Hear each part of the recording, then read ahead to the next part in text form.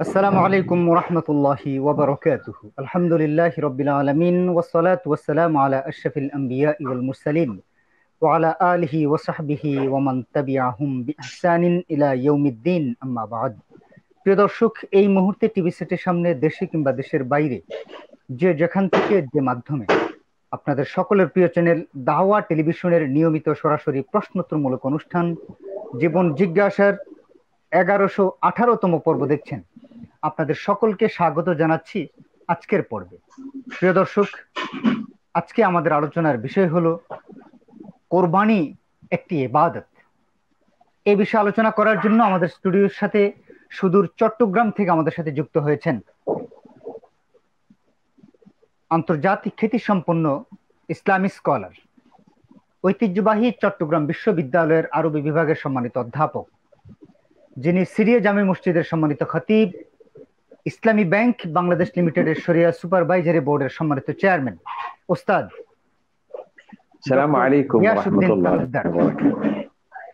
সালাম আলাইকুম রহমতুল্লাহ ওয়ালাইকুম আসসালাম রহমতুল্লাহ ওয়াবারাকাত শেখ কেমন আছেন?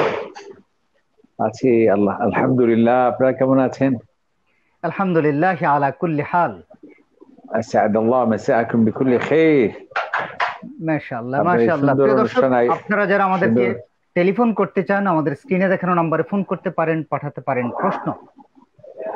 দাওয়া টেলিভিশনের ইউটিউব চ্যানেলে অনুষ্ঠানটি সরাসরি সম্প্রচারিত হচ্ছে সেখানে আপনারা সাবস্ক্রাইব করে আমাদেরকে প্রশ্ন পাঠাতে পারেন।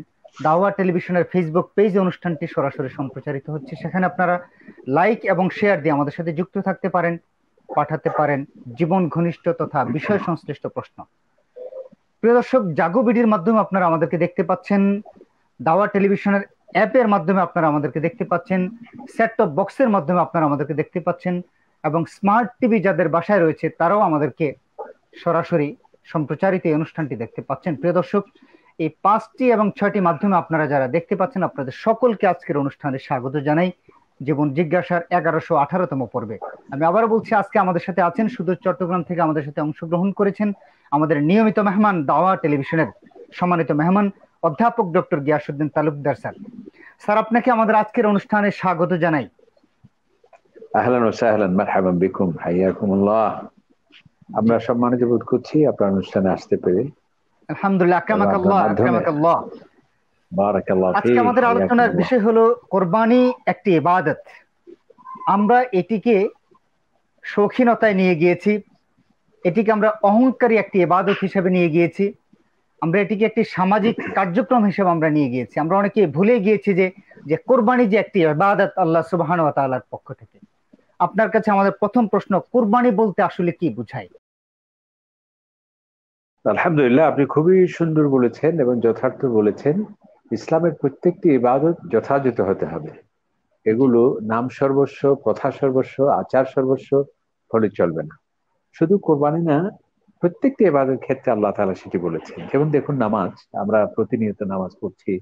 এই নামাজ যদি গতানুগতিক হয় প্রথা সর্বস্ব হয়, সেই নামাজ আল্লাহর কাছে কবুল হবে না। আল্লাহ তাআলা ফয়দুল মুসল্লিন, সেই সব মুসল্লির জন্য জাহান্নাম, ধ্বংস, অনিবার্য। যারা উদাসীনের সাথে নামাজ পড়ছে এই যে দেখুন, হজ একটা অনেক বড় এবাদত আপনার কথা অনুযায়ী, আজকে আমরা সেটি আচার সর্বস্ব হজ করছি। অনেকে প্রথা সর্বস্ব বা গতানুগতিক বা শিক্ষা বিহীন এই হজ যারা করছে, তাদের সেই হজ সম্পর্ক নবী সাল্লাহ শেয়ার করছেন লাব্বাইক সাদেক ওই হাজি সাহেব যখন সেখানে তেলবিয়া পাঠ করেন, লাব্বাইক বলে ঘোষণা দেন, আল্লাহ তাআলা বলেন যে, তোমার লাব্বাইকা আমি আমি প্রত্যাহার করছি, তোমাকে আমার ঘরে আমি ওয়েলকাম করছি। এই যে আমরা শ্যাম করি, কঠোর সাধনা।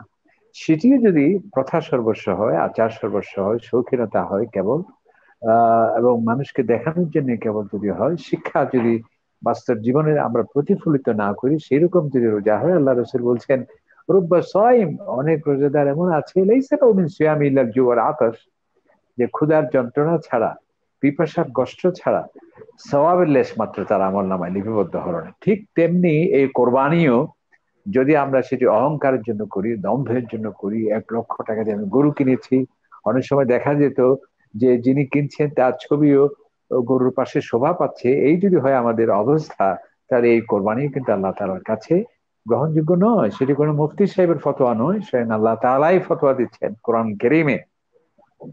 দৃষ্টি আকর্ষণী নোটিশ জারি করছেন। যে, হে নির্বোধ, তুমি কি মনে করছ যে এই বিশাল জবাহ মানে পশু জবাহ করে তুমি অনেক বিশাল কাজ করেছ? তুমি কি মনে করছ যে এর গোস্ত এর পশম, এগুলো আমার কাছে আসে? আমার কাছে কিছুই আসে না। বলে কি তাকোয়া বরং তুমি এখলাস কতটুকুন তোমার মধ্যে কাজ করেছে এবং এই তাকোয়া কতটুকুন তোমার মধ্যে আছে সেটি কিন্তু আমার কাছে আসে। তাহলে আপনি যে সুন্দর একটি সূচনা দিয়ে আজকে অনুষ্ঠান শুরু করেছেন, প্রত্যেকটি আবাদত, সেটি যদি গতানুগতিক হয়, আচার সর্বস্ব হয় প্রথা সর্বস্ব হয়, শিক্ষাবিহীন হয়, তাহলে এগুলো আল্লাহ তালার কাছে কোনো গ্রহণযোগ্য নয়। তো এই কোরবানি সেটিও আমাদের এখলাসের সাথে করতে হবে তাকুয়ার সাথে করতে হবে, যেটা আল্লাহ তালাই বলেছেন। এবং আমরা জানি যে এই কোরবানি হজরতে আদমান ইসলামের ছেলে, ওই যে কাবিল হাবিল কাবিল আমরা জানি যে তার আমরা কোরবানির ইতিহাসটি আমরা জানব ইনশাআল্লাহ আপনার কাছে কিন্তু কোরবানির কোরবানির বলতে আসলে কি বোঝাচ্ছে একটু যদি আমাদেরকে সংক্ষেপে বলতেন? কোরবানি আসলে কোরবানি সম্পর্কে প্রথমে কোরবান মানে হচ্ছে যে সান্নিধ্য নৈকট্য অর্জন করা। হ্যাঁ কার্বন থেকে। তাহলে এখানে করবা সেটা কেন আল্লাহ তাআলা সুবহানাহু ওয়া তাআলার কাছে আমরা নৈকট্য অর্জনের জন্য আল্লাহ সন্তুষ্টি অর্জনের জন্য আমরা যে এই এবাদত করছি সেই জন্য এটিকে কোরবানি বলা হয়। অথবা আল্লাহ অথবা এই কোরবানি, সেটি আল্লাহ যে আমাদেরকে সম্পদ দিয়েছেন, সেই সম্পদ আল্লাহ রাস্তায় খরচ করে তার সন্তুষ্টি অর্জনের লক্ষ্যে, তার নৈকট্য অর্জনের জন্য যেহেতু আমরা সেটিকে উৎসর্গ করছি সেই জন্য এটাকে কোরবানি বলা হয়। এবং কোরবান শব্দটা কোরআন শরীফে প্রায় দু তিনটি জায়গায় আসছে। সুরা আলী ইমরানও আসছে যে ওই যে বলা কাফিররা বলল না যে আল্লাহ নুমিন লিরাসূলিন হাত্তা ইয়াতিয়ানা বিকুরবান তাকুলুহু নার যে আমরা আপনাকে রসুল হিসেবে বিশ্বাস করব যদি আপনি একটি কোরবান আমাদের সামনে দেখাতে পারেন এবং এই কোরবানি করার পর আকাশ থেকে আগুন এসে সেটাকে খেয়ে ফেলবে, তাহলে আমরা বিশ্বাস করব আপনি আল্লাহর নবী। এবং এই তাহলে তাকার রূপ কোরবানির লক্ষ্যই হলো আল্লাহ সুবহান তাআলার সান্নিধ্য এবং নৈকট্য পাওয়া। সেই জন্যে আল্লাহ তাআলা বলছেন না লিকুল্লি উম্মতি জান্না মান আমি প্রত্যেকটা জাতির জন্য, শুধুমাত্র মুসলমান, আমাদের জন্যই যে কোরবানি ফরজ ছিল সেটি নয়, প্রত্যেকটা জাতিতে জাতিতে এই আইতের মাধ্যমে আমরা বুঝতে পারছি যে আমি কোরবানি ফরজ করেছি কেন? যাতে আমার জিকির তারা করে এবং এই পশু জবাহ করবে এবং সেটি সে নিজে খাবে এবং দারিদ্র দরিদ্র মানুষের মাঝে বিতরণ করে আমার সন্তুষ্টি এবং আমার নৈকট্য সে অর্জন করবে। এই জন্যই চমৎকার করে আপনি কোরবানি পরিচয়টা বললেন শেখ। আপনাকে আমরা খুব সুন্দর করে আমরা আমরা স্পেসিফিক যেতে চাই এজন্য যে কারণ আমাদের এই প্রশ্নগুলো আমাদের দর্শক অনেক প্রশ্ন আছে আজকে। আপনার কাছে আমরা প্রতিটা প্রশ্ন আপনার যে গুরুত্বপূর্ণ আলোচনাটা আমরা দর্শকদেরকে শোনাতে চাই। আমরা স্পেসিফিক যেতে চাই। এবার আপনার কাছে যে প্রশ্ন আপনার করতে চাই কি পরিমাণ সম্পদ থাকলে একজন ব্যক্তির উপর কোরবানি ওয়াজিব? আসলে কোরবানি আপনি যে বললেন ওয়াজিব এটি নিয়ে তো এটা মনে হয় পরবর্তী আপনার প্রশ্ন আছে যে আমাদের হানাফি মাঝহাবে কেবলমাত্র এ কোরবানিকে ওয়াজিব বলা হয়েছে এবং অন্যান্য মাঝহাবে সেটিকে সুন্না মহাকাদা বলা হয়েছে। আবার কেউ কেউ এটাকে সুন্না মহাকাদা কিফায়া বলেছেন। আমাদের হানাফি মাঝাবে সেটিকে ওয়াজিব বলা হয়েছে এর কারণ হচ্ছে, ফাসাল্লি রব্বিকা ওয়ানহার, যে তুমি আল্লাহ, যে সুরা কাউসারে আল্লাহ তারা সব করছেন, তুমি নামাজ পড়ো এবং তুমি কোরবানি করো। এই মাধ্যমে তারা ওয়াজিব বলেছেন। এবং আরেকটি হাদিস তারা প্রমাণ পেশ করেছেন সেটি হচ্ছে আল্লাহ নবী ইরশাদ করেছেন যে মান খান হচ্ছে যে ব্যক্তির সামর্থ্য আছে ওয়ালাম ইউদাহি এবং সে কোরবানি করল না ফলে কোরবানি মুসাল্লামা সে যাতে আমাদের আহ মসজিদের কাছে না আসে না আসে। তাহলে এখানে অন্যান্য মাঝহাবে সেটাকে শূন্য বলেছেন। এর কারণ কি? এর কারণ হচ্ছে তারা বলছেন যে ওই যে হাদিস পেশ করেছেন যে ইদা হিলাল শাহরি জিল হিজ্জা যখন তোমরা জিলহজ মাসের চাঁদ দেখবে ওয়ারাদা আহাদুকুম এবং তোমাদের কেউ যদি কোরবানি করতে ইচ্ছে পোষণ করে, ফালা আছে না? যে তাহলে সে যেন নখ না কাটে এবং চুল না কাটে। তো তারা প্রমাণ হিসেবে পেশ করল যে এখানে আমরা নবী কেমসা ইসলাম যে এরশাদ করছেন যে যদি তোমাদের মধ্যে কেউ ইচ্ছে করে কোরবানি করতে, আরাদা বলেছেন এখানে তাহলে যদি ওয়াজিব হতো, তাহলে তিনি এভাবে বলতেন না।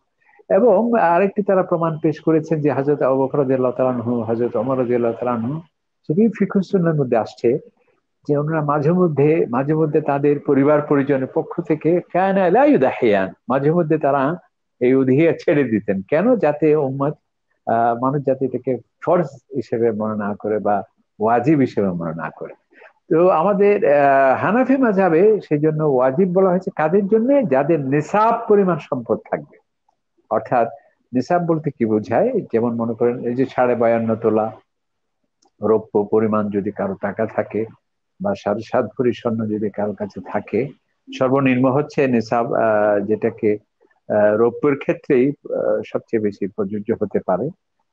তাহলে তাকে নেশাব পরিমাণ সম্পদ যদি কারও কাছে থাকে, তাহলে এই কোরবানি করতে হবে। হানাফি মাঝহাবে অন্যান্য মাঝহাবে সেটাকে শূন্য মহাকাদা বলা হয়েছে এবং কেউ কেউ শূন্য মহাকাদা কেফায়া বলেছেন। আল্লাহ আপনাকে শেখ আপনি সুন্দর করে আমাদেরকে কোরবানির কোরবানির সম্পদ কতটুকু থাকলে সে কোরবানি ওয়াজিব হবে আপনি বলেন। কোরবানির হুকুমটা আপনার কাছে জানতে চাচ্ছি। কোরবানির হুকুম তো প্রায় আমরা বলেই ফেললাম যে কোরবানি এক্ষেত্রে ওরমাই কেরামদের মাঝে বিভেদ আছে। হানাফি মাঝহাবে সেটাকে ওয়াজিব বলা হয়েছে এবং তারা প্রমাণ পেশ করেছেন। একটু আগে আমি বলছি, সুরতুল কৌথর হোসাল্লিল রব্বিকা ওয়ানহার, তুমি নামাজ পড়ো, অর্থাৎ ঈদুল আজহার এই নামাজ আদায় করো ওয়ান ওয়ানহার অথবা তোমাকে এই কোরবানি করতে হবে। এবং আরেকটা হাদিস আল্লাহ রসুল যদি বলছেন যে, কারও যদি সামর্থ্য থাকে, সে যদি এই কোরবানি আদায় না করে, তাহলে সে যাতে আমাদের মসজিদে না আসে। এই দুটি প্রমাণের মাধ্যমে তারা ওয়াজিব বলেছেন হানাফি মাঝাবে আমাদের মাঝাবে এবং অন্যান্য মাঝাবে সেটাকে এটাই হচ্ছে কোরবানির হুকুম আর কি। আমরা এবার আপনার কাছে যে প্রশ্নটা জানতে চাচ্ছি কোরবানির ইতিহাস প্রতিটি এবাদতের একটি উৎপত্তি আছে এবং তার ধারাবাহিকতা রয়েছে আমরা জানি। কোরবানির ইতিহাস সম্পর্কে আপনার কাছে জানতে চাই। আসলে যে কোনো এবাদত ইসলাম তো শুধুমাত্র নবী করিম সাল্লাহ ইসলাম দিয়েই শুরু নয়। আল্লাহ তাআলা যেটি বলছেন কোরআন কেরিমে, হে নবী, আপনি বলুন, মা কুনতু বিদা আমিনা রসুল, আমি কোনো নতুন নবী নই। এবং আল্লাহ তাআলা কোরআন শিব অন্য জায়গায় বলছে, ওমা মোহাম্মদ রসুল, মোহাম্মদ ইসলাম যে প্রথম নবী আসলেন, আকস্মিক নবুতের ঘোষণা দিলেন। ব্যাপারটি তো সেরকম নয়, তার আগে অসংখ্য নবী আসছেন, রসুল আসছেন। প্রত্যেকটা ভাষাভাষী লোকদের জন্য, প্রতিটি গোষ্ঠীর জন্য, প্রত্যেকটা জাতির জন্য। এই জন্য মৌলিক যে আবাদত, সেগুলো সব প্রায় নবীদের কাছেই ছিল। এই যে নামাজ প্রত্যেক নবীদের কাছেই ছিল। এবং এই যে সিয়াম এর ক্ষেত্রেও যে আমরা রোজা যেটাকে বলছি, সেখানেও দেখছি আল্লাহ তালা বলছেন কেমন কুতিবে আল্লাহ কপিকুম যে তোমাদের জন্য আমি এই রোজাকে ফরজ করেছি, যেভাবে অন্যান্য জাতির প্রতিও সেটি ফরজ ছিল। ঠিক তেমনি আমরা দেখছি যে এই কোরবানিটাও বিভিন্ন জাতির উপর, বিভিন্ন, আহ, নবীদের উপর সেটি ছিল, যেটি আমরা একটু আগেই কোরআন আয়াতটি বললাম যে আল্লাহ তারা বলছে, আমি প্রত্যেকটি উম্মতের জন্য এই কোরবানির এই ব্যবস্থা, সেটিকে আমি তাদের জন্য ওয়াজিব করেছি বা তাদের জন্য আমি ধর্মীয় রীতি, বিধান হিসেবে সেটি আমি করেছি, যাতে তারা আমার বিকির করে, আমার শুকর আদায় করে এবং দরিদ্র মানুষের মাঝে এই কোরবানি কৃত পশু যাতে খাবার যাতে সে বিতরণ করে।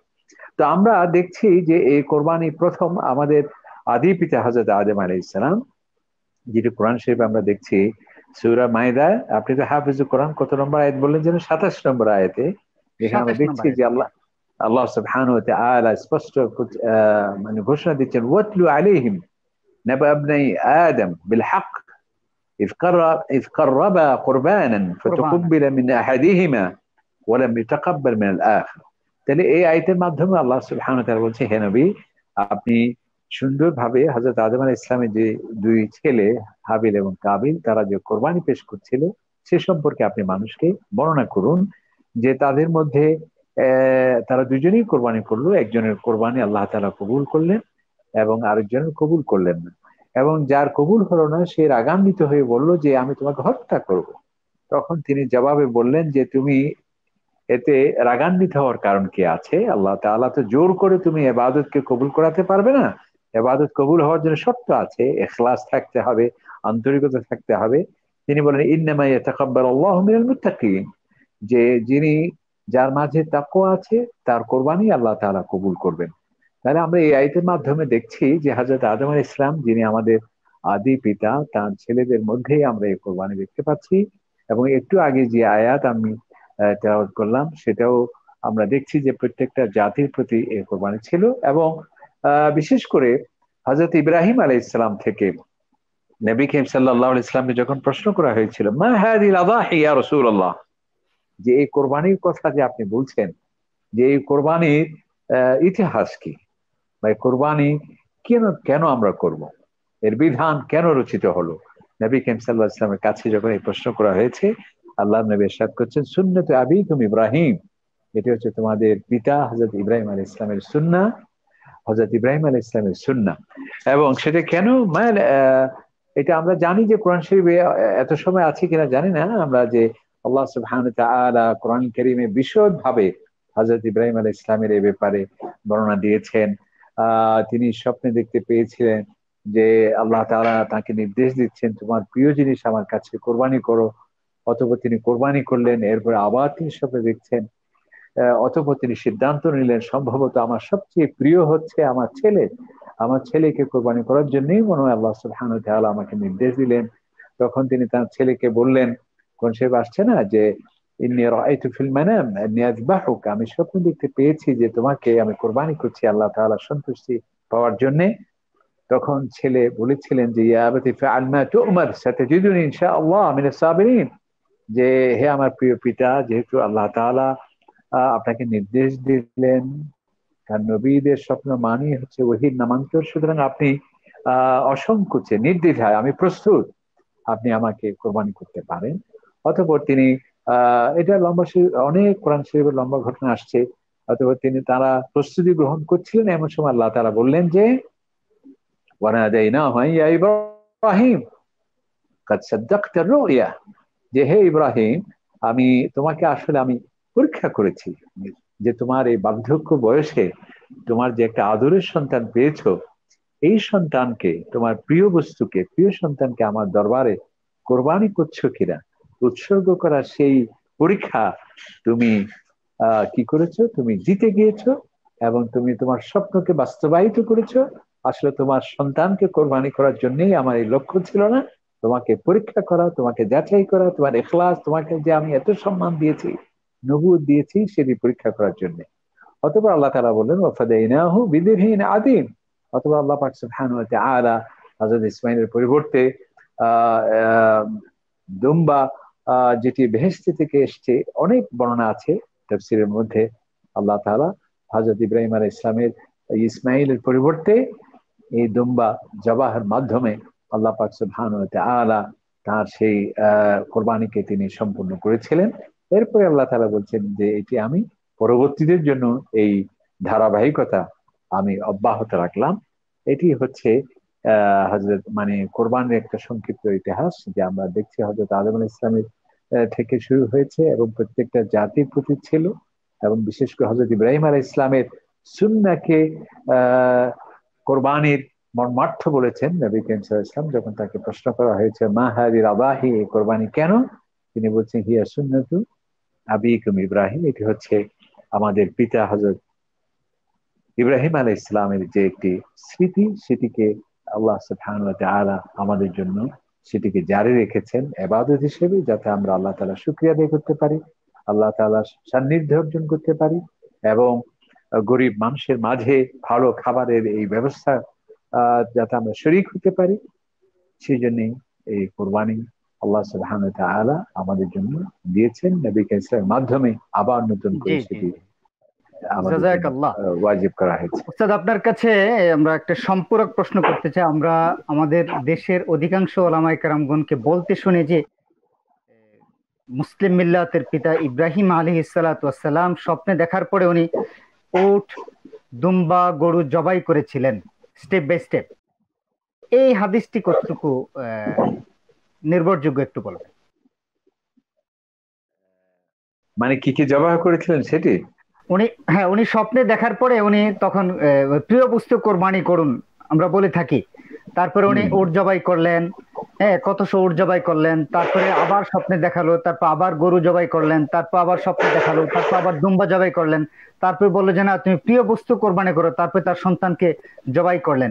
এই যে কিছু মুখরোচক কথাবার্তা আছে। এ সম্পর্কে আসলে কি জবাহ করেছেন? সম্ভবত আমরা তেফসিরে যতটুকু আমার খেয়াল করছে এই মুহূর্তে ওটের কথায় আসছে কিন্তু গরুর কথা আসছে কিনা বা অন্যান্য প্রাণীর কথা আসছে কিনা আমি নিশ্চিত নই। তবে এখানে মুখ্য কথা হলো যে আল্লাহ সাবহানা তাকে যে স্বপ্নে নির্দেশ দিলেন যে তোমার প্রিয় জিনিসকে কোরবানি করো এই জন্য তিনি একটির পর একটি কোরবানি করে সেটি স্বপ্নের আলোকে নির্দেশকে পালন করার চেষ্টা করেছিলেন। পরবর্তী তিনি বুঝতে পারলেন যে না সম্ভবত তার প্রিয় সন্তানকেই কোরবানি করাটাই মনে হয় কোরবানি করার কথা বলা হয়েছে। জি ধন্যবাদ আপনাকে। সেটি কি। জি উস্তাদ ধন্যবাদ আপনাকে। আমরা একটু ফেসবুকের দিকে তাকাতে চাই। আমাদের সাথে অসংখ্য দর্শকরা আছেন আমাদের সাথে আছেন শাহ এমডি জাহিদুল হাসান। বলছেন যে মার্শাল্লাহ আলহামদুলিল্লাহ চমৎকার প্রোগ্রাম। আছেন আমাদের সাথে doctor Abdullah Al Mizan quality education কলেজের সম্মানিত প্রতিষ্ঠাতা। মোবারকবাদ আমাদের আজকের এই অনুষ্ঠান দেখার জন্য। আছেন আমাদের সাথে দীর্ঘদিন পর অম্মে হাবিবা আছেন আমাদের সাথে হলো ওবায়দুল হক চৌধুরী আছেন আমাদের সাথে আইনুল আসিফ চট্টগ্রাম থেকে আছেন আমাদের সাথে পুষ্প আক্তার আছেন আমাদের সাথে মোহাম্মদ রাফি আপনাদের সকলকে স্বাগত জানাই। আমাদের সম্ভবত একজন দর্শক আছেন টেলিফোনে। আমরা টেলিফোনটা নিয়ে আসতে চাই। জি প্লিজ আসসালামু আলাইকুম।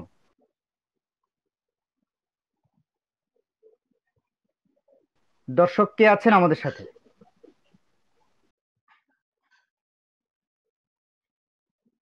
আসসালামু আলাইকুম। সম্ভবত লাইনটি ড্রপ করেছে। প্রিয় দর্শক আপনারা আবার চেষ্টা করুন আমরা ইনশাল্লাহ আপনাদের প্রশ্ন করে নেব। আমরা ফেসবুক থেকে একটি প্রশ্ন নিতে চাই ওস্তাদ। আমাদেরকে প্রথম প্রশ্ন করেছেন ওম্মে হাবিবা। আমরা গরুর যে গোবর আছে এই গোবর জ্বালানি হিসাবে ব্যবহার করা যাবে কিনা? গ্রামের সাধারণ মানুষ এই গোবরটাকে জ্বালানি হিসাবে ব্যবহার করে থাকেন। ওস্তাদ ডক্টর গিয়াসুদ্দিন তালুকদার। গোবর হিসেবে, জ্বালানি হিসেবে গোবরকে ব্যবহার করা যায়। এখানে নিষেধাজ্ঞার কিছু নেই। এটি জ্বালানি হিসেবে ব্যবহার করা যেতে পারে। কোনো অসুবিধা নেই, ইনশাআল্লাহ। এবং সেটাকে আমরা সার হিসেবেও ব্যবহার করছি, জৈব সার হিসেবে। আরও অনেক ক্ষেত্রে সেটি ব্যবহার করার প্রচলন আছে। সুতরাং এটি আমরা জানি যে, তাই বলে আবার আমরা কেউ আমল করব না। আমরা, নবী কেমস ইসলামের কাছে একবার কিছু লোকের আসছিল, একটা সুনির্দিষ্ট রোগ বেধির কথা বললেন নবী কেমস ইসলাম সেই রোগের একটি চিকিৎসা তাদেরকে দিয়েছিলেন, সেটি হচ্ছে ওটের সেই ইউরিনারি যেটি আছে সেটি। তো তার মানে হলো এই হাদিসটা যেটি ওটের তাদেরকে ইউরিনের মেডিসিন হিসেবে নবী কেম সাল্লাহ সাল্লাম তাদেরকে দিয়েছিলেন প্রেসক্রিপশন হিসেবে, এবং সেটি তারা খেয়ে ভালো হয়ে গিয়েছিল। তার মানে হচ্ছে তাহলে এখানে যেটিকে জ্বালানি হিসেবে আমরা ব্যবহার করতে পারি, জৈব সার হিসেবে ব্যবহার করতে পারি, এতে কোনো নিষেধাজ্ঞার কথা নয়। আল্লাহ আলম, আল্লাহ তালাই ভালো জানেন।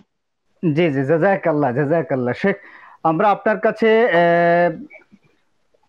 এবারে যে প্রশ্নটি করতে চাই, কোরবানির ধরন কি এবং এককভাবে না অংশীদার ভাবে কোরবানি করা উত্তম। এই প্রশ্নটি জানব আপনার কাছে। ছোট্ট একটি বিরতির পর যে আমরা সাত ভাগে, ছয় ভাগে, পাঁচ ভাগে, চার ভাগে, তিন ভাগে, দুই ভাগে কোরবানি করা উত্তম না এককভাবে একটি পশু মানে কোরবানি করা উত্তম? এই প্রশ্নের জবাব জানতে চাইব আমরা আপনার কাছে ইনশাল্লাহ বিরতির পর।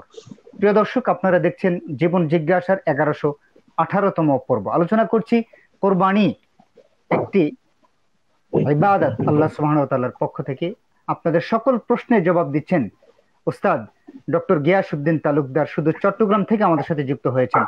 আমরা ছোট্ট বিরতিতে যেতে চাই। বিরতির পর আবার ফিরে আসতে চাই চমৎকার কোরবানি সংক্রান্ত কিছু মাসালা নিয়ে। আশা করছি আমাদের সাথেই থাকবেন।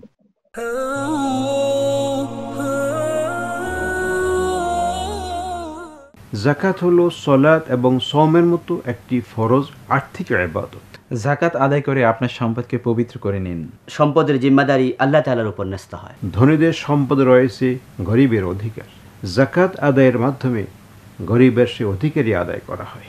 জাকাত ধনী গরিবদের মাঝে সম্পর্ক বৃদ্ধি করে। জাকাত অর্থনৈতিক ও সামাজিক ভারসাম্য তৈরি করে। জাকাত আল্লাহর বাণী প্রচারে সহায়ক ভূমিকা পালন করে। জাকাত দিন প্রচারে প্রধান সহযোগী। দাওয়া টেলিভিশন আল্লাহ সুবহান ওয়া তালার বাণী প্রচারে আপনার সহযোগিতা কামনা করছে। আল্লাহ সুবহান ওয়া তালার বাণী প্রচারে দাওয়া টেলিভিশনকে আপনার সাদাকা জাকাত প্রদান করুন। এই দাওয়া টিভি দুনিয়া আখরাতের কল্যাণে এই দায়িত্বটি পালন করে যাচ্ছে।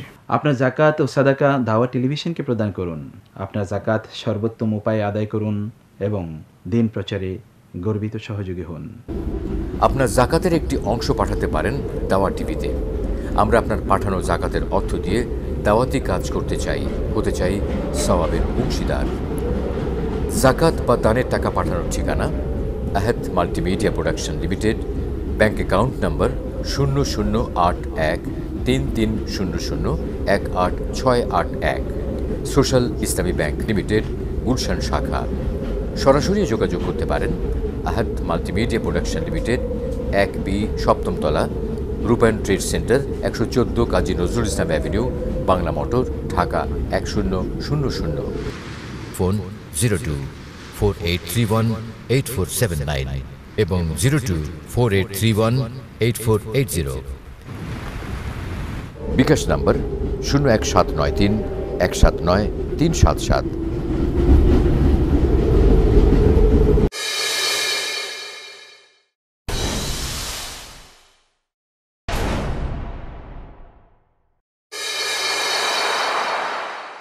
যে আমাদের সন্তানদেরকে আমরা কীভাবে সফল ব্যক্তিত্বে কীভাবে পরিণত করতে পারি তাদেরকে কীভাবে সত্যিকার তালিম এবং তারবিয়াত আমরা প্রদান করতে পারি। ইবতিআদ আন কাসরাতিল ওয়াল ইতাব যে সন্তানদেরকে শিশুদেরকে সকল অবস্থায় আমরা তাদেরকে তিরস্কার করে থাকি ভৎসনা চলমান পৃথিবীর কঠিন বাস্তবতার নিরিখে প্রিয় সন্তানকে আদর্শ মানুষ হিসেবে গড়ে তোলার সঠিক জ্ঞান ও কর্মপদ্ধতি নিয়ে কোরআন ও সুন্নার আলোকে অধ্যাপক মুখতার আহমদের বিশেষ আলোচনা অনুষ্ঠান তালিম ও তারবিয়াত। জিএম সালাউদ্দিনের প্রযোজনায় দেখুন প্রতি শুক্র ও শনিবার আদওয়া ডট টিভিতে।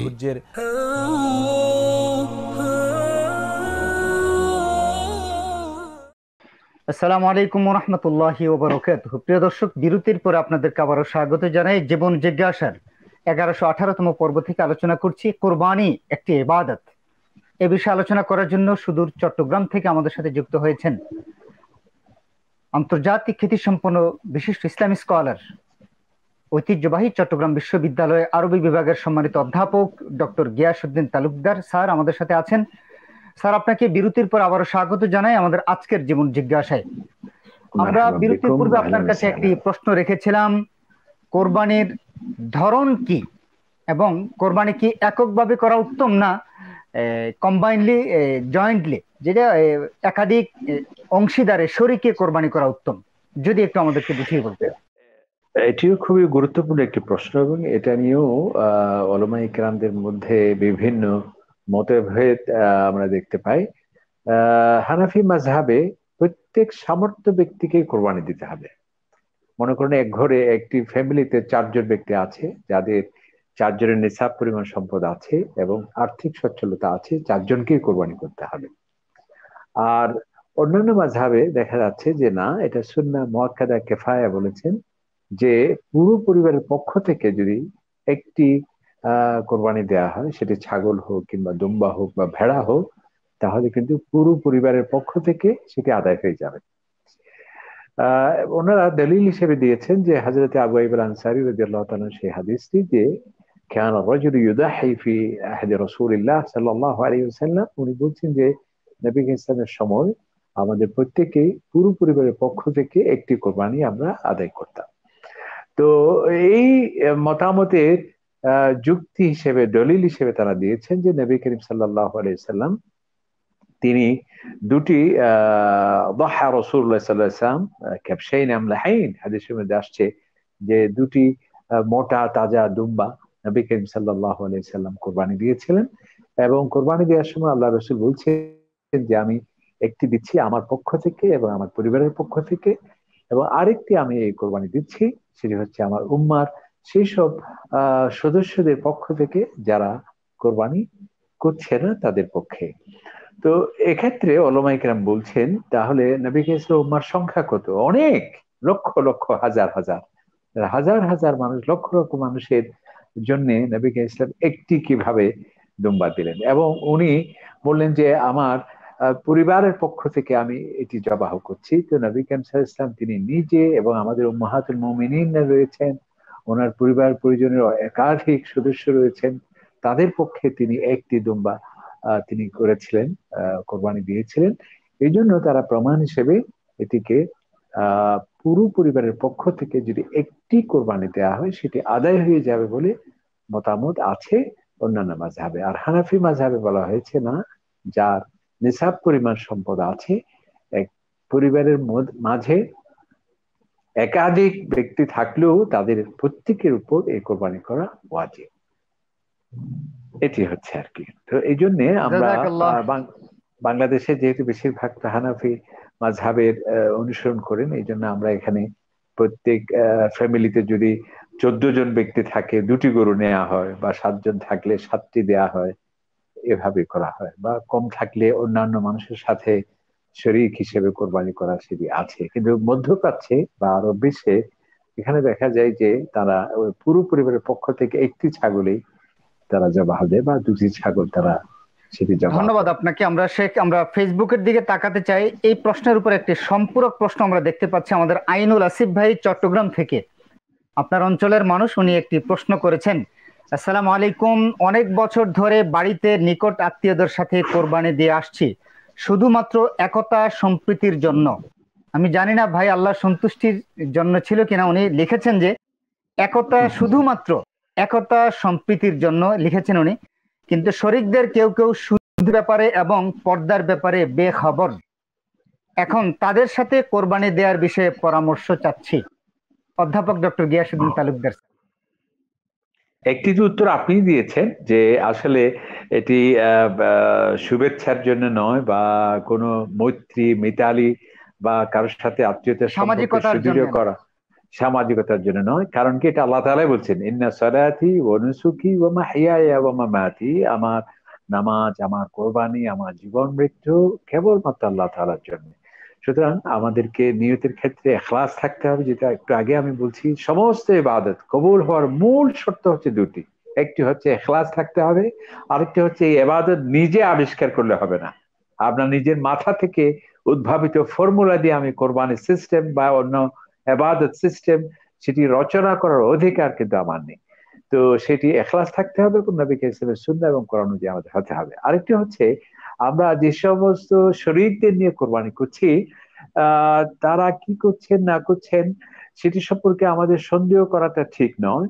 তবে আমরা যদি দেখতে পাই যে সে সুদি কারবারিতে সরাসরি জড়িত বা অনৈতিক কাজ করছে বা শরীরের পরিভাষায় যদি সে ফাসিক পর্যায়ের হয়ে যায় বা দিন বিবর্জিত বা দিন নিয়ে উপহাস করে বা ইসলামে জাস্ট শুধুমাত্র এটি আনুষ্ঠানিকতা হিসেবে সম্পন্ন করার মানসিকতা যাদের মধ্যে আছে, তাদেরকে নিয়ে, এ ধরনের যে কোনো বাদতের শরিক হওয়াটা স্বাভাবিক প্রশ্নবিদ্ধ। তবে এরকম আমরা সন্দেহ করা ঠিক নয় যে একজনের সাথে আমরা শরিক হিসেবে কোরবানি করছি। তার হালাল কিনা ইনকাম, তিনি কতটুকু শরীয়তের উপর আছেন, এভাবে আন্দাজ, অনুমানের উপর ভিত্তি করে একটি ধারণা পোষণ করা ঠিক নয়, কারণ মমিন সম্পর্কে আমাদের ভালো ধারণাই থাকতে হবে। কিন্তু কেউ যে আমরা নিশ্চিতভাবে জানি যে তিনি ধর্মের প্রতি বিশ্বাস নেই, বা এটিকে নিয়ে তাচ্ছিল্য করেন, বা এটাকে ব্যবসা বাণিজ্য বলে থাকেন, বা এটিকে একটি সামাজিকতা এ ধরনের মনে করেন বা নিজেকে প্রকৃতিবাদী, সংশয়বাদী কিংবা নাস্তিক হিসেবে যদি সে ডিক্লারেশন দিয়ে থাকে, এই ধরনের ব্যক্তিকে তো আমরা তার সাথে, এ ধরনের শরিক করে কোরবানি করাটা, এটা আমাদের আকল, আমাদের বিবেকও গ্রহণ করে না শরীয়ত প্রশ্নই উঠে না। এটি আর কি আল্লাহ তালা আমাদের ভালো যেটি সেটি সম্পাদন করার তৌফিক দান করুন। আমি জি জি জি।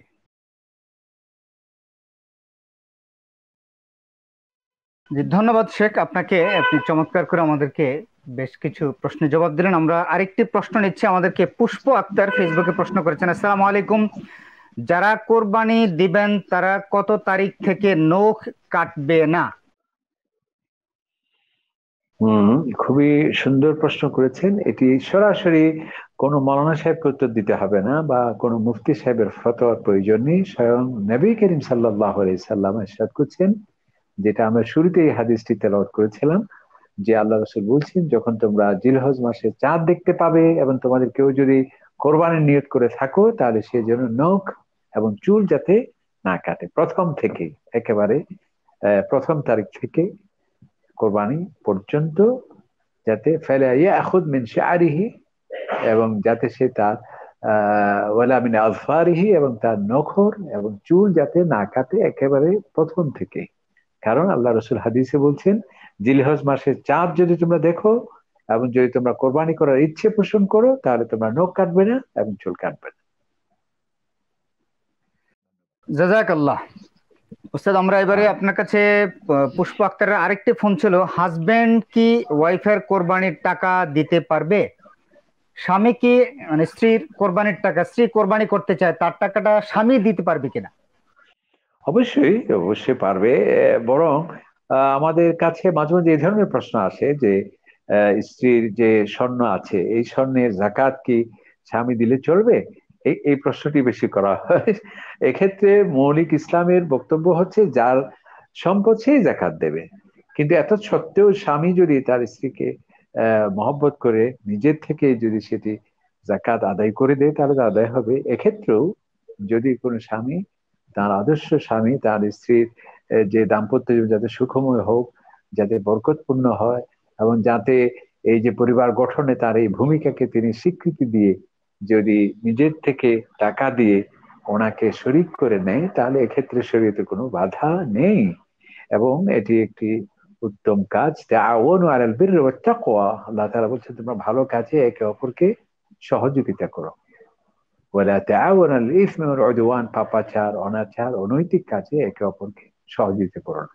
সুতরাং যেহেতু এই আল্লাহ রসুল বলছেন যে স্বামী এবং স্ত্রী, তারা অঙ্গাঙ্গি ভাবে জড়িত, একে অপরের পরিপূরক, একে অপরের সম্পূরক এবং আল্লাহ তারা বলছেন, লিবাস বলেছেন, একজন আরেকজন জন্য লিবাস এবং পরিচ্ছেদ হিসেবে বলেছেন, একজন আরেকজনের সম্ভ্রমকে সুরক্ষিত রাখার ক্ষেত্রে সহযোগিতা করছেন, এক্ষেত্রে সেই কৃতজ্ঞতার প্রতীক হিসেবে যদি সেটি নিজের টাকা দিয়ে তার স্ত্রীর নাম, নামে যদি কোরবানি দেয়, সেটি অবশ্যই আল্লাহ তাআলা কবুল করবেন ইনশা আল্লাহ এবং এতে কোনো বাধা নেই।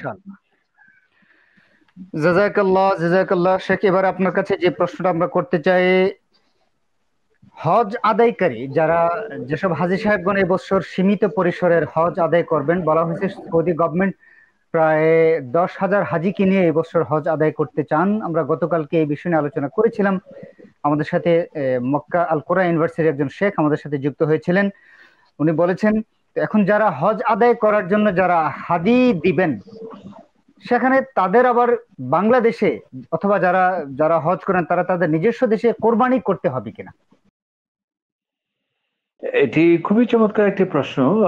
সাধারণত আমরা যখন এই যে কাফেলার মাধ্যমে হজ করতে যাই, আমাদের হাজিদের খেদমতের একটা প্রতিষ্ঠান আছে, প্রায় চব্বিশ পঁচিশ বছর ধরে আমরা সেখানে বিভিন্ন কাফেলা কিন্তু কি করে মানে হাজিরা প্রশ্ন করে যে, আমি তো কোরবানি দেশেই দিচ্ছি, সুতরাং এখানে আবার কেন কোরবানি? আসলে হজের যে হাদি যেটা মানে যারা হজে কেরান করবে কিংবা হজে তামাত্তু করবে, তাদেরকে কি দিতে হয়? এই কোরবানিটা দিতে হয়। এই কোরবানি, আমরা যে দেশে কোরবানি দিচ্ছি, সেই কোরবানি নয়। এটা হজের, যেহেতু ওই যে, তামাত্তু, যেহেতু তিনি কি করেছেন, মাঝখানে যে সুবিধা নিলেন, এহরাম খুললেন ওমরা আদায় করার পরে হজের মাঝখানে যে সুবিধাটা নিলেন। এবং সেই জন্যেই এটিকে কোরবানির একটি অংশ হিসেবে কাজটি করছেন। সুতরাং যিনি মনে করেন আমি হজে গেলাম যখন, আমি যখন হজে তামাত্তু করছি বা কেরান করছি, আমি যে ওখানে এই যে কোরবানিটা দিচ্ছি, এটি এটি হচ্ছে হজের রিলেটেড কেউ যদি মনে করে যে আমি বাংলাদেশে দিয়ে দেবে, এখানে দিতে হবে না, সেটা কিন্তু ভুল হবে। আবার যদি আমি সেখানে এই হাদিটা দিয়ে দিই তাহলে কিন্তু ওই ওই ওই হাদির মাধ্যমে আমার কোরবানিটাও কিন্তু ওই দিন হয়ে যাচ্ছে। যেমন দেখুন খুবই চমৎকার একটা মাসালা। কেউ যদি কোরবানির দিন আকিকার দিন হয়ে যায় বলছে যে সপ্তম দিন কোন একটা শিশু জন্মগ্রহণ করল আমি আজকে পড়লাম মনে কোথায়। সেটি যদি সেদিন কোরবানি হয় অর্থাৎ যেদিন আকিকা করার কথা সেদিন যদি কোরবানির দিন হয়ে যায় তাহলে কিন্তু সে কোরবানি মাধ্যমে তার আকিকেও কিন্তু সম্পূর্ণ হয়ে সম্পূর্ণ হয়ে জি। এবং আরেকটি চমৎকার জিনিস আমাদের দেশে বললে জানি না একজন একজন বড় বক্তা আমি নাম বলছি না তাকে কুফরি ফতোয়া পর্যন্ত দেওয়া হয়েছে এই বক্তব্যের জন্য। অথচ এটা তার বক্তব্য নয় এটা নবী ইসলামের হাদিস। সেটা কি? আল্লাহ রসুল বলছেন যে যে কোনো সময় একদিন আল্লাহ রসুলের ঈদের দিন জুমার দিন হয়েছিল। তখন তিনি বললেন যে আজকে আজকে দুটি ঈদ আমাদের সামনে। একদিকে হচ্ছে ঈদ উল ফিতর আবার আরেকদিকে হচ্ছে সাপ্তাহিক ঈদ, জুমার দিন। তো এই জন্য আল্লাহ রসুল বললেন যে, আজকে যারা তোমরা আমার সাথে ঈদের নামাজ পড়েছো, যদি তোমাদের খুবই জরুরি কাজ থাকে, তাহলে তোমরা জুমা, নামাজ আমাদের সাথে শরিক না হলেও তোমরা পারবে, তোমরা জোহর নামাজ আদায় করতে পারবে। তবে আমি কিন্তু জুমার নামাজ পড়ছি, মসজিদে জুমার নামাজ হবে। তবে যেহেতু আজকে ঈদের নামাজ যারা পড়েছ, সুতরাং আজকে জুমার দিন ইচ্ছে করলে, কোনো কারণ থাকলে, জরুরি কারণে, তাহলে তোমরা জুমা না পড়ে জোহর আদায় করলেও চলবে। কারণটা কি? এর কারণ হচ্ছে ঈদের যে উদ্দেশ্য। ঈদের উদ্দেশ্যটা কি? বহু মানুষের সমাবেশ। একসাথে দেখা হওয়া, একসাথে কুশল বিনিময় করা, এটি তো সকালে হয়ে গেল। এবং আরেকটি হচ্ছে সমসাময়িক ইস্যুর উপর একটি মূল্যায়নমূলক বক্তব্য দেয়া। সেটি তো জুমার খোদবার মধ্যে আছে। যেহেতু সেটা আজকে সকালে ঈদের মধ্যে হয়ে গেছে, সেই জন্য ইসলাম যে এত সহজ এবং বাস্তব ভিত্তিক ধর্ম, আল্লাহ রসুল বলছেন, আজকে দুই ঈদের দিন একসাথে হয়েছে। একটু জুমার ঈদ আরেকদিকে ঈদ উল ফিতর। তোমরা ইচ্ছে করলে জুমার নামাজ না পড়ে কেউ যদি কারণ থাকে, তাহলে জোহর নামাজও আদায় করতে পারো। তো এক্ষেত্রে আমরা হাজি সাহেব যারা ওই দিন, হাজ্যে কেরান যারা করছেন বা তামাত্তু যারা করছেন, ওই দিন যে হাদি যেটা দিচ্ছেন, সেটার মাধ্যমে কিন্তু আপনার এই কোরবানির সবটাও তিনি পেয়ে যাচ্ছেন। আরেকটা হচ্ছে, এই প্রশ্নটা করা হয়, যদি কেউ আমাদের দেশের এই কোরবানিটা তাকে সেখানে দিতে হবে কিনা? এই ধরনের একটি প্রশ্ন কিন্তু একটা করা হয়। আপনারা জানেন যে মোসাফিরের জন্য কিন্তু এই যে হানাফি মাঝহাবে যদিও ওয়াজিব বলা হয়েছে, কাদের জন্য? লিল মুকিমিন হ্যাঁ লাইসালিল মুসাফিরিন। যারা মুসাফির, যে হজ করতে গিয়েছে সেটা মুসাফির সেখানে। তার জন্য তো আমাদের দেশে যেটা আমরা কোরবানি করছি, সেটি সেটি তার জন্য সেখানে ওয়াজিব নয়। অর্থাৎ উনি দশ তারিখ বা এগারো তারিখ, বারো তারিখ ওই যে হজে যে হাদি দিচ্ছেন, সেটার মাধ্যমে তার কোরবানি আদায় হয়ে যাবে, কিন্তু এটি বাংলাদেশে দিলে হবে না। এটা অবশ্যই মিনার মধ্যে দিতে হবে। আল্লাহ রসুল বলছে এমনি নাহারতু হা হুনা ওয়ামিনা কুল্লুহা মানহার আমি এই হজের রিলেটেড এই কোরবানিটা মিনাতে আমি জবাহ করলাম, তবে আমি যেখানে দিয়েছি এখানেই তোমাদের দিতে হবে, তেমনটি নয়। মিনার যে কোনো স্থানে এই কোরবানি তোমরা দিতে পারো সুতরাং এটা বাংলাদেশে দিলে হবে না। উনি হজ করছেন আরাফাতে কোরবানি বাংলাদেশে দিলে সেটা হবে না এটা হজ রিলেটেড ওখানেই দিতে হবে মাক্কাতুল মুকাররমায় দিতে হবে। আপনার কাছে এবার আমরা যে প্রশ্নটি করতে চাই ফেসবুকে আমাদের একজন ভাই প্রশ্ন করেছেন যে কোরবানির গোশত ফ্রিজিং করা যাবে কিনা? বেলাল হোসেন জানতে চেয়েছেন। কোরবানির গোস্ত কোরবানির সময় আসলে আমরা দেখতে পাই ফ্রিজ এয়ার কন্ডিশনের দোকানগুলোতে বিশাল ছাড় চলে। আমরা অনেকেই ফ্রিজ কিনে থাকি কোরবানির মাংস খালি কেটে ফ্রিজে ঢোকানোর জন্য। এখন এই কোরবানির মাংসটা ফ্রিজিং করা যাবে কিনা? আপনি সুন্দর বলছেন, যেটা আমি বলতে চেয়েছিলাম যে আমাদের কোরবানির এমনটি হলো যে কোরবানি আসলে ফ্রিজের দাম বেড়ে যায়। এবং কোরবানির সম্পর্কে আমাদের সংস্কৃতি এমন ভাবে গড়ে উঠেছে যে এক কোরবানির মাংস আরেক কোরবানি পর্যন্ত সেটি আমাদের সংরক্ষণের ব্যবস্থা থাকে। আপনারা জানেন যে কোরবানি যখন নবী কেন সাল্লাহ আলাইসাল্লাম মদিনা মনোমরা যখন শুরু হলো, প্রথম দিকে তো আল্লাহ রসুলের নিষেধাজ্ঞায় ছিল যে তিন দিনের বেশি কোরবানির গোস্ত রাখা যাবে না। কারণ কি? যাতে তখন মানুষের মাঝে অভাব ছিল, দারিদ্রতা ছিল এবং দুঃখী মানুষের সংখ্যা বেশি ছিল, যাতে এটিকে গুচ্ছিত রাখা না হয় এবং মানুষের মাঝে যাতে এই তিন দিনের মাঝে যাতে সেটি ব্যয় করা হয় বিতরণ করা হয়। যেহেতু আল্লাহ রসুল বলছেন এই যে আয়াম তশরিক মানে কি? ইন্নাহা ইন্নাহা এটি হচ্ছে খাওয়া দাওয়া করা, পানাহার করা এবং আল্লাহ জিকির করা। সুতরাং কিন্তু এরপরেই নবী কেমসা ইসলাম বললেন যে, আমি তোমাদেরকে প্রথমে নিষেধ করেছিলাম, তিন দিনের বেশি কোরবানি গোস্ত রাখা যাবে না এবং কবর জিয়ারত করা যাবে না। আরও একটা বিষয় ছিল, এখন আমি সেই, আহ, নিষেধাজ্ঞা সেটা আমি প্রত্যাহার করে নিলাম, এখন তোমরা সেটি রাখতে পারো। তবে তার মানে এই নয় যে আমরা একটি বছর রেখে দেব। রাখার ক্ষেত্রে কোন গুনাহ নেই, কিন্তু আল্লাহ কোরআন বলছে, ফাকুলু মিনহা তুমি যে কোরবানি করবে, তুমি নিজেই খাও। ওয়া আল সম্ভবত কোরআন যে তুমি আল ফকির যারা অভাবী আছে, যারা দরিদ্র মানুষ আছে, তাদের মাঝে সেটি বিতরণ করো। সুতরাং আমি একাই গোস্ত খাব। আর আমার আশেপাশে যারা আছে গোস্তের ঘ্রাণ নেবে, অথচ গোষ্ঠ পাবে না, সেটি যাতে না হয়। ইসলাম দেখুন, এই যে সেদেকাতুল ফিতরের মাধ্যমে অন্তত বছরে একটি দিন কোনো ভিক্ষুক থাকবে না, কেউ অভাবে থাকবে না। আর এই কোরবানি এবং এর পরের তিন দিনের মাধ্যমে ইসলাম যে এই চারটা দিন কোনো ঘরে গোষ্ঠের অভাব থাকবে না। কেউ, অথচ আমরা অনেক গরিব মানুষ, এমন দেখা যায়, সারাটি বছর কোনো খাবার নেই, ভালো খাবার নেই। আর দেখুন ইসলাম, যে এই বছরের চারটা দিন সবার ঘরে ঘরে সেই গোস্ত থাকবে, ভালো খাবার থাকবে এবং আল্লাহ রসুল ঘোষণা দিয়েছেন ইসলাম এটি কোন নিরস ধর্ম নয়। এখানে বিনোদন আছে, এখানে আনন্দ আছে, সেই জন্য ঈদ উল ফিতর। এটি কোনো সন্ন্যাসী হয়ে বন জঙ্গলে চলে যেতে হবে, ক্ষুধার্ত হয়ে গাছের পাতা চিবিয়ে খেতে হবে। জ্বলন্ত কয়লার উপর হেঁটে গিয়ে পা যত জ্বলবে, পড়বে, তত বেশি আমার পুণ্য হবে সেরকম ধর্ম ইসলাম নয়।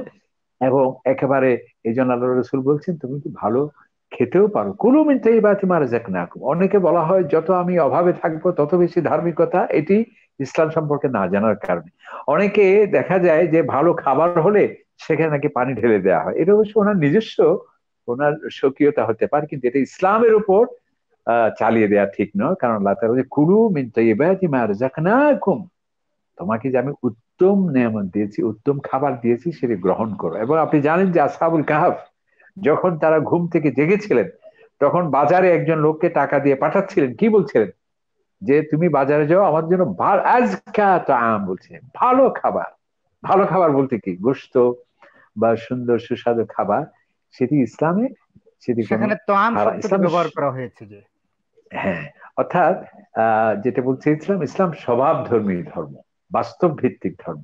সুতরাং ধন্যবাদ আপনাকে। আমরা এবারে আপনার কাছে যে প্রশ্নটা জানতে চাই আমাদের হাতে সময় আছে আর চার মিনিট আমরা বেশ কয়েকটি প্রশ্নের জবাব দিতে চাই। বর্তমানে তো করোনা চলছে করোনা মহামারী চলছে। করোনা মহামারীতে আমরা কোরবানি না করে যদি আমাদের কোরবানির টাকাটা যদি আমরা দান করে দিই, তাহলে আমাদের কোরবানি আদায় হবে কিনা আমাদেরকে একটু জানাবেন। আর এই প্রশ্নটা আগেই করা দরকার ছিল, যেহেতু সময় আপনি আসার আগে সময় বাড়িয়ে দেবেন, একটু অসুবিধা নেই। আসলে এই করোনাকালীন সময় আমরা কি করতে পারি? আমি সেটা একটু বলে রাখি। প্রথম হলো যে আমরা আসলে, যেমন আমেরিকা সহ মধ্যপ্রাচ্যে, সৌদি আরব, সিঙ্গাপুর, সব জায়গায়, আপনি নিজে ইচ্ছে করলে কোরবানি করতে পারবেন না। সংস্থা আছে, সেখানে রেজিস্ট্রেশন করবেন। তারা করে দেবে স্বাস্থ্যসম্মত ভাবে এরপর আপনি গোষ্ঠ নিয়ে আসবেন। আমরা যদি বর্তমান সরকার, বিভিন্ন সিটি কর্পোরেশন যদি এই ধরনের ব্যবস্থা করে যে তারা স্বাস্থ্যবিধি মেনে তারা গরু কিনবে এবং আমাদের পক্ষ থেকে জবাহ করবে, তাহলে আর কোনো অসুবিধা নেই এবং আমরা সেটি সুন্দরভাবে কোরবানি করতে পারছি। আরেকটি হচ্ছে, এখানে অসুবিধা হওয়ার কথা নয়। দেখুন, ইসলাম যে কত বাস্তব ভিত্তিক ধর্ম, তিন দিন আপনাকে সময় দেওয়া হয়েছে। যে দশ, এগারো, বারো, তিন দিন যদি আমরা এটি সুন্দরভাবে এই সময়কে বন্টন করে যদি আমরা করি, তাহলে এই সেটি আমার মনে ঝুঁকি হওয়ার কথা নয়। আরেকটি হচ্ছে, কেউ যদি আমরা এবার একটু অন্য মাজা মানে মাঝাবগত ভিন্নতা থাকলেও নবী ইসলাম যেখানে তিনি একটি দুম্বা দিয়ে কোরবানি করেছেন, আমরা ছোট্ট পরিসর যদি করতে চাই, একটা ছাগল দিয়ে দুম্বা দিয়ে, তাহলে তো ঝুঁকি হওয়ার কথা নয়। এরপর হচ্ছে, সর্বশেষ যেটা আপনি প্রশ্ন করলেন যে, কোরবানির পরিবর্তে সৎকা দেওয়া যায় এখানে এক্ষেত্রে কিন্তু ওলমাইকরাম সকলেই বলছেন যে কোরবানির কোনো কি হতে পারে না বিকল্প হতে পারে না সৎকা হিসেবে। রিপ্লেস হতে পারে না। কারণ কি? কারণ কি? নবী কেসেম নিজে জবাহ করেছেন সাহাবাই কালাম জবাহ করেছেন এবং প্রত্যেকটা এবাদতে একটা লক্ষ্য থাকে উদ্দেশ্য থাকে। মাকাসেদে সেরি আপনাকে বুঝতে হবে কোরবানের উদ্দেশ্যটা কি? এবং আল্লাহ রসুল নিজেই বলছেন আইয়াম আইকলিন ও শোন এটা হচ্ছে দরিদ্রদের মাঝে ভালো খাবারের ব্যবস্থার জন্য এটা করা হয়েছে আল্লাহ শুক্রিয়া আদায় করার জন্য করা হয়েছে। এবং হাদিসে আসছে যে এই দশ এগারো বারো তারিখের মধ্যে সবচেয়ে উত্তম আমল কি? সবচেয়ে উত্তম আমল হচ্ছে একটি কোরবানি পশু জবাহ করা। সেটি হচ্ছে উত্তম আমল।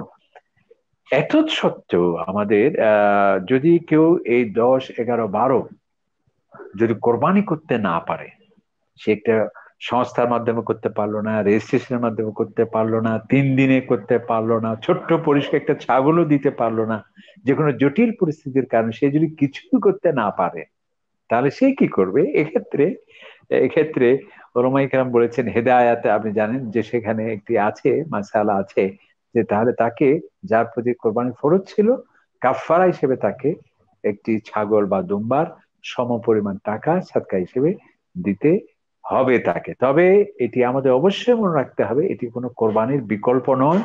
কোনো অলমাই কেরাম কিন্তু কোরবানির বিকল্প হিসেবে সাদকা দেয়াটাকে সেটিকে তারা অধিক গ্রহণযোগ্য মতামত হিসেবে গ্রহণ করেননি।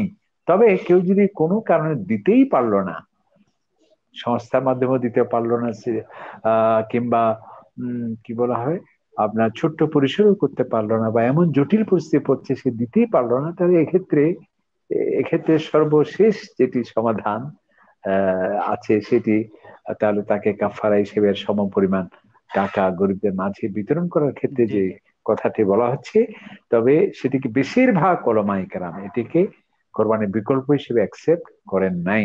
আমরাও সেই সেদিকেই যাচ্ছি কারণ কি কোরবানির লক্ষ্য এবং উদ্দেশ্যকে সামনে রেখে আমাদের সকল কার্যাদি সম্পন্ন করা লাগবে ইনশাআল্লাহ।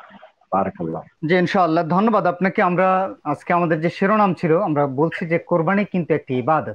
সুতরাং ইবাদতের পরিবর্তে অন্য কোন ইবাদত দিয়ে আমরা সাওম দিয়ে সালাদকে মোকাবেলা করতে পারব না। সলাদ দিয়ে সাওমকে মোকাবেলা করতে পারব না। সাদাকা দিয়ে কোরবানিকে মোকাবেলা আমরা করতে পারব না। এবং এটার বিধান আসলে ইসলামে নেই। যদিও আমরা দেখতে পাচ্ছি, এটি অমুসলিমদের একটি চক্রান্ত বলে অনেকে মনে করছেন যে, কোরবানি নামক একটি চমৎকার এবাদত থেকে মুসলমানদেরকে দূরে সরানোর জন্য এটিকে বাজারে সেটাকে প্রচার করা হয়েছে যে যে তোমরা দান সাদকা করলেও সেটা পারো? যদিও সেটি ওলামা ইকরামগুন বলছেন যে না, কোরবানির বিকল্প কোনো ইবাদত, সাদাকা দিয়ে কখনো আদায় হবে না। আপনার কাছে সর্বশেষ অল্প কথা যদি আমাদেরকে একটু জবাব দেন, কোরবানি কি শুধু পশু কোরবানি দেয়া, না মনের পশুত্বকে কোরবানি দেয়া? আপনি শুধু যেটি কোরআন শরীফের মধ্যে আছে, যে আল্লাহ তাআলা বলছেন আল্লাহ তুমি কি মনে করছ তোমার এই জবাহিত পশুর গোস্ত পশম আমার কাছে কিছুই আসে না? আসে কি? তাকোয়া তাকোয়া মানে তাকোয়া মানে হচ্ছে আল্লাহ তালার ভয়। আল্লাহর ভয় মানে কি? আমরা সাপকে যেভাবে ভয় পাই একটা একটা বাঘকে দেখলে যেভাবে ভীত সন্তুষ্ট হয়ে সেই ভয়। এখানে ভয় মানে হচ্ছে শ্রদ্ধা ভয় মানে হলো ভালোবাসা ভয় মানে হলো তাকোয়া মানে আল্লাহ এবং আল্লাহ রসুলের কোরআন এবং সুন্না ভিত্তিক জীবন গঠন করা। তাহলে আমরা এই কোরবানি মানে হচ্ছে আমাদের তেজকেতুন নফস আমাদের আত্মাকে পরিশীলিত করতে হবে নফসকে তেজকেতুন নফস করতে হবে। শির্ক মুক্ত ইমান এবং বেদাত মুক্ত ইবাদত এবং আমাদের মাঝে এখলাস তৈরি করতে হবে এবং আল্লাহ সুবহানাহু ওয়া আমাদের প্রত্যেকটি কথা রেকর্ড করছেন আমাদের গতিবিধি পূর্ণ নজরে রাখছেন এবং আমাদের কার্যাদির জন্য আল্লাহর কাছে জবাবদিহি করতে হবে। এই বিশ্বাস আমাদের অন্তকরণে গ্রথিত করতে হবে এবং শুধুমাত্র পশু কোরবানি নয় নিজের পশুত্ব নিজের পাশবিকতাকেও এই এই পশু কোরবানির সাথে আমরা সেটিকে বিলীন করে দিতে হবে এবং আল্লাহ সন্তুষ্টি এবং রেজামন্দিকে আমাদেরকে সর্বোচ্চ অগ্রাধিকার দিতে হবে। আল্লাহ তা ইমানি চেতনায় উদ্বুদ্ধ হয়ে নবী ইসলাম মোহাম্মদ উজ্জীবিত হয়ে আল্লাহ তালার জন্য এখলাসের মাধ্যমে আমাদের জীবনকে গঠন করতে হবে। এটাই হচ্ছে আমাদের কোরবানির শিক্ষা এবং কবি নজরুল তো খুবই সুন্দর বলেছেন।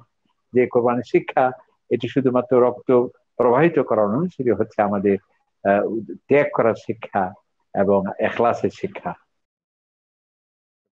জাজাকাল্লাহ শেখ আমাদেরকে দীর্ঘ একটি ঘণ্টা আপনি আমাদেরকে আজকে কোরবানি সম্পর্কে আমাদের দর্শকদেরকে কোরআন এবং সুনার আলোকে অনেকগুলো প্রশ্নের জবাব দিলেন। আল্লাহ আপনার এই প্রশ্নের জবাবগুলোকে কবুল করুন এবং এই সময় কোরবানি আল্লাহ কবুল আমিন। আমিন আমিন। প্রিয় দর্শক, এই ছিল আমাদের আজকের আয়োজন। আমরা চেষ্টা করেছি কোরবানি একটি ইবাদত।